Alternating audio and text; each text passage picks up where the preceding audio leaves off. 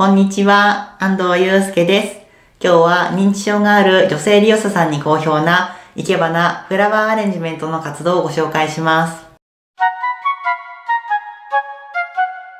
それではお伝えします。今日の活動はとても簡単で認知症がある方や手足の不自由な方も参加できます。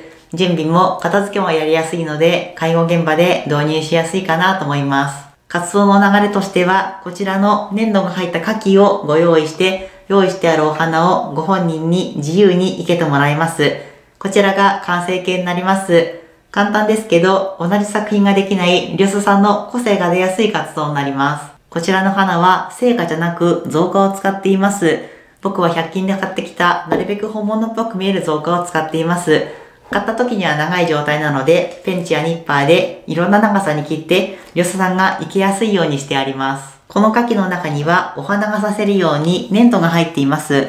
紙粘土だと1回使うと固まってしまうので、何回でもさせるように油粘土を使っています。秋は使わなくなった湯飲みや花瓶を使っています。ここが広い方がリョスさんが行きやすいですし、時間をかけてたくさんお花がさせます。いろいろ揃えておくと、花器を選ぶ楽しみもあっていいかなと思います。これ今急遽僕が生けてみました。どうでしょうか？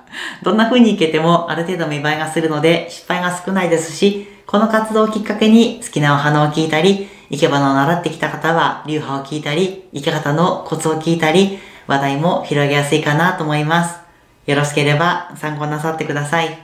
あなたの介護応援しています。ありがとうございました。